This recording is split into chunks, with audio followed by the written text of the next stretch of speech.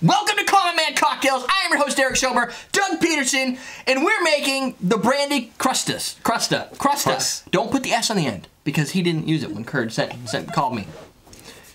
Yeah, but he's from Massachusetts. How long? Uh, it's true. He also called this apricot, this, which is probably right. actually this recipe take took a long time. Can I, Can you wash out my other cup there, Jennifer? Took take took- Sure. That one? take- Did you only bring two You know. cups up for a five episode? No, I just used the wrong one a couple times. Yes. So what we're gonna do? Brandy. Good. Got it. great. Hennessy. We're using cognac because I ran out of brandy last week, and I'm gonna do two and a half ounces.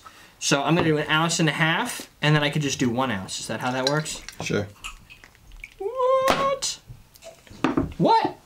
What are you doing? Hey, you know what I realized? What are you If You put a sink on the I put a sink. in the basement, we'll have a sink on every floor. Oh, interesting information for I me. know. Hmm. Just realized that. That's just crazy. Nice. It is crazy. What? Boom. All right. There's our brandy. Two and a half ounces of brandy. Dashes all around. Oh, we're gonna need an ounce of lime juice as well. Then dashes all around. Lime, lime, lime, lime, lime, lime, lime, lime, lime, lime, lime. All right. You have to do that. Oh, I spilled some. You're spilling it everywhere. Not everywhere, just right here. Why are we using a mason jar? The Mason It's the shaker. hillbilly Mason shaker. shaker. You have to This do just in. your face. Proprietary patent talk. You'll see in a oh, second. So, I'll tell you the story. I didn't know what this was. Ah. I've never heard of a, a mason shaker before because they're new, right? Right. And somebody said, They're new. yeah, somebody said it's a new product. Just launched. So somebody said Mason J- Shaker, and I was like, "What the heck?" Then the folks from Glass Dharma, who make the glass straws, were like, "Mason Shaker." They sent me and the owner of the Mason Shaker, and he's like, "You got to hook up with with uh, the Common Man Cocktail Show." Right. So I was like, "What?" And then I got another person. You one really of the, measuring? Kurt said the dash. Just dash. he, yeah, he said use the. This is that's it. Um, did I use the apricots? I'm No. confused. No. No. I thought you did. No. Oh, all right.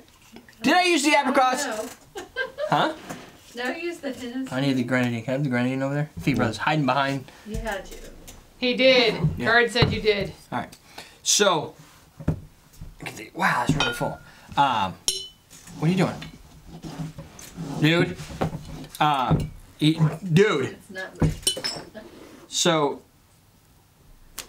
uh, uh, do you remember that time I punched you and you, you made you angry? Yeah. Yeah. So, uh, mhm. that's it. Hit him right in the rib.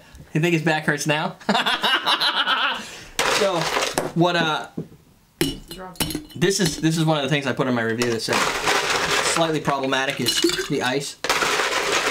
So, I decided, heck, everybody's telling me about these mason jars.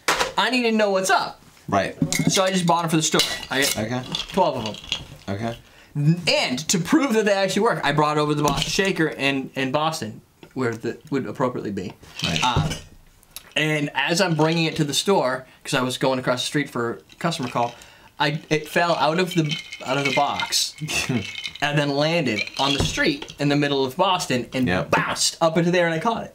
Nice. Which is when you've got the glass, you're like, oh my god! And you just literally, they just came in. And it landed right on the top and bounced up in there. So I was like, oh, that's good. Yeah. So here's the challenge you're gonna shake it.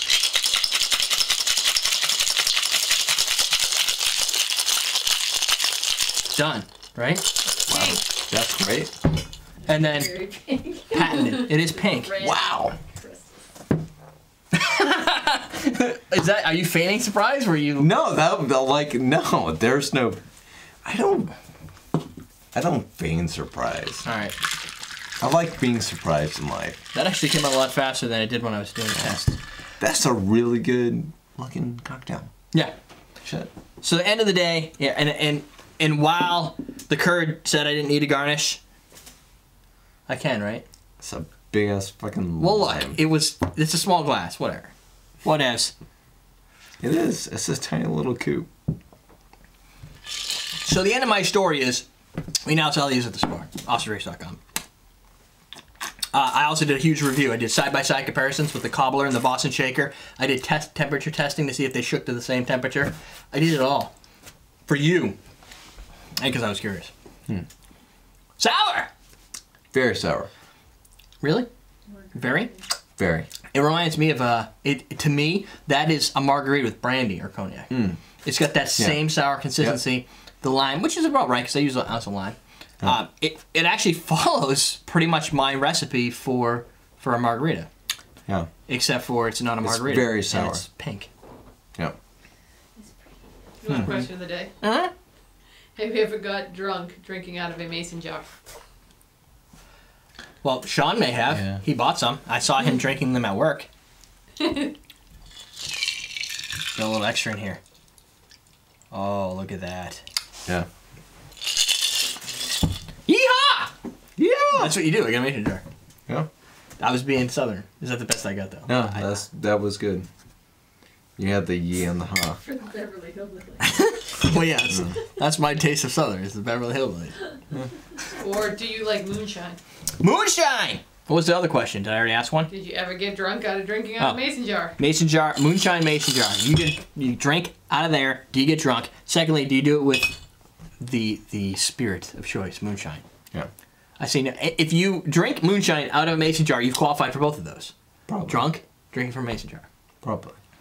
So you like it, or is it too sour for you? Ah, kind of sour. Because I know you're not a big sour fan, No. and I, it's I've had more sourer drinks. Did I just make up a word? Yep. All right, good. I've had sourer drinks. Right. More sour. Right. Uh, but this one is right up there on the margarita Merriam scale. Dever Dictionary. Right. Yes. I, I kind of actually like this a little bit. Does not surprise me because you're a sour guy. You know, and I never pegged myself as one. I think I'm. I think I'm. You, into you, one. I actually every time I say that, you say, "No, I never pegged myself as a sour guy." You're a sour guy. But have I always you been? really are. I don't. Have has that always been the case, or did? Yes, Did you I- always have been.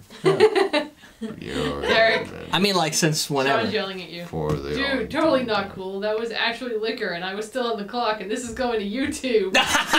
you put it on whatever Google. What's Google knows, everything's gone. And, and it wasn't on the clock. He was on break. Um, and there was no alcohol in there. It was just fruit flavored juice. I saw like the whole picture. Um, yeah. So it was shared only to you. news to me. uh, and my three personalities, by the way, apparently I have on Google Plus. Wow. Yeah. I create Three? three accounts. I, yeah, I have an Austin Drinks one. I have, Personnel? yeah, I, I, I'm managing way too many Google Pluses. I don't even manage the first one. There you go. I'm a sour guy. Uh, it's been it's a third party has validated that as fact, and I'm perfectly fine with that. Brandy Crusta, or as I would have called it, a brandy sour. EverydayDrinkers.com. What are you gonna burp me? Teach you how to drink.